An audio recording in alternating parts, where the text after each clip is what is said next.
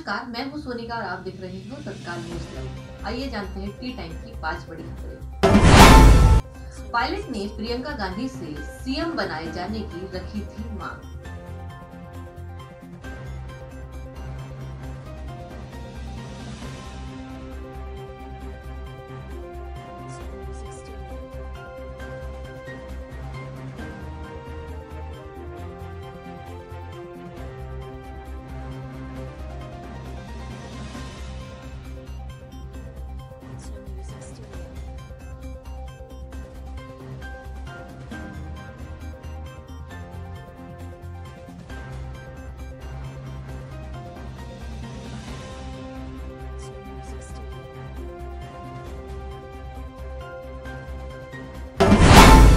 विधानसभा सत्र की मंजूरी मिलने के बाद अब अपने एमएलए को दूसरे शहर में शिफ्ट कर सकते हैं सीएम गहलोत केरल की मस्जिद में सोशल डिस्टेंसिंग के साथ पढ़ी गई बकर ईद की नमाज़।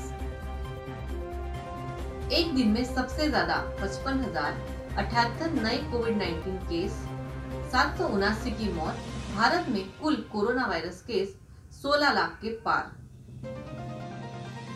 दिल्ली की अरविंद केजरीवाल सरकार ने 1 अगस्त से शुरू हो रहे अनलॉक तीन में नाइट कर्फ्यू को खत्म कर दिया है। इसके साथ साथ दिल्ली सरकार ने होटलों को खोलने की भी इजाज़त दे दी।